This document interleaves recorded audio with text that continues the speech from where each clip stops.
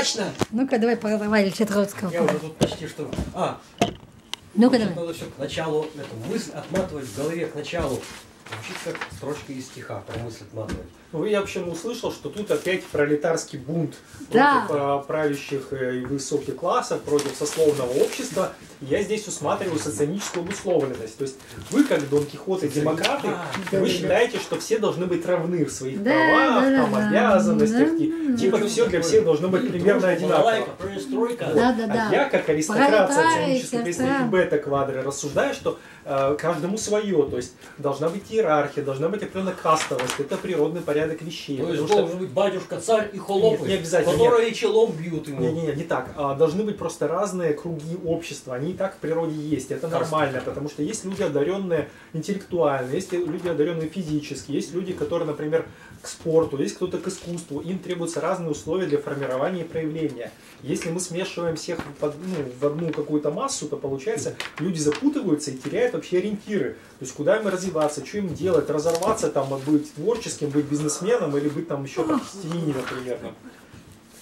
Тут, мне кажется, все это может возыметь такое продолжение, что Возыметь? ну да, разделение, но не столь такое резкое и разительное, когда одна в колесе едет, а ноготочки розовые.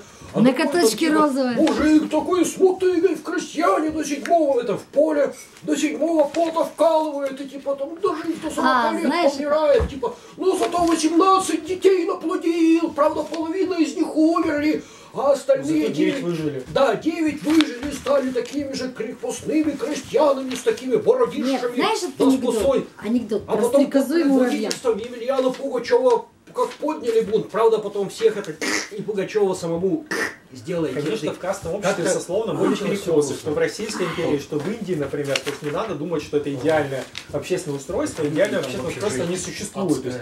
Есть свои плюсы и минусы. Вот.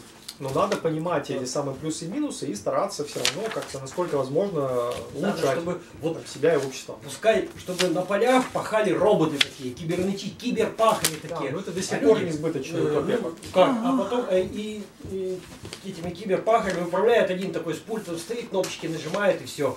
Ну то есть, чтобы не было такого разительного. Ну да, допустим, Этого до сих пор не видим, даже при современном а, уровне на а, Тесла там всякие еще. Ну только Ну, потому, что там тормозят такие. Такая мафия там разная. Причины это уже другой вопрос. То есть пускай будет разница, но не такая разительная, что типа там один там до седьмого пота упакивается, а другой в карете ноготочки полирует. Так что чуток. Ну, знаете, этот анекдот я хотела? Рассказывай. Такая стрекоза на лимузине так мимо едет, муравей такой ползет, такой, такой весь. С теле- телегу везет, с дровами стучится. Стрекоза, стрекоза. Ну вот кому она такая, стекло опускает. Увидишь Крылова, дай ему в морду.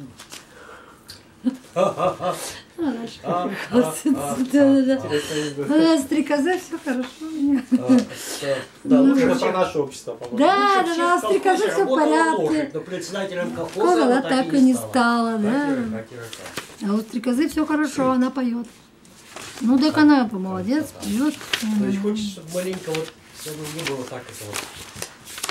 Ну, штука в том, что нам трудно изменить общественное устройство. Нам бы по-хорошему свою жизнь хотя бы в порядок привести, свои цели научиться Ладно, спать Если мы это делаем, мы тогда создаем хорошие шансы и возможности для всего общества.